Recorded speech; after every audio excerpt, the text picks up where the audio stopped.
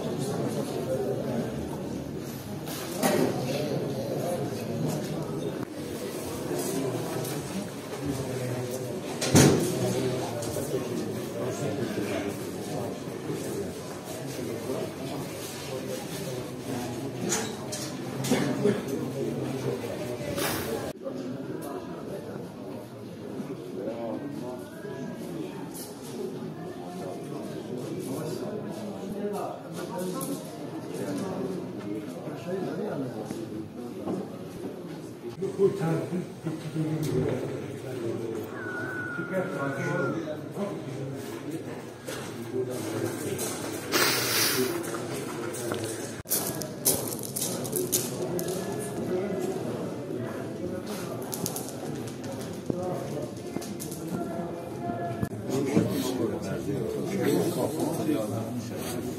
Nereden ne yaptın, nereden ne?